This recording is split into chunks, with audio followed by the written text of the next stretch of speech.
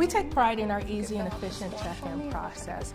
That's an important part of therapy for our clients.